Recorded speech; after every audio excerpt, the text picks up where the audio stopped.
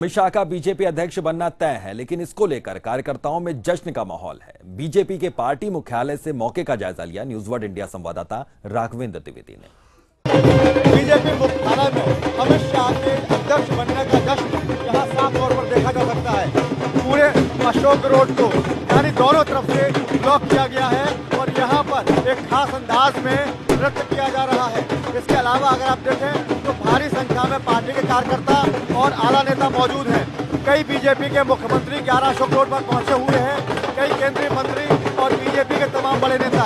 और एक खुशी जो ज़ाहिर की जा रही है, यहाँ पर लगातार तमाम रंग दिखाऊँगा आपको, अशोक रोड पर ये नज़ारा।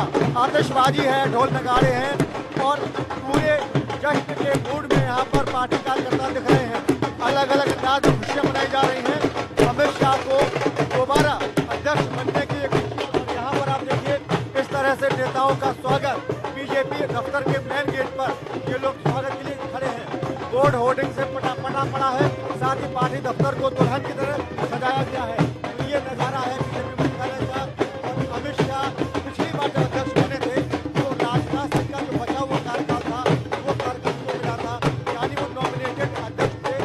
album.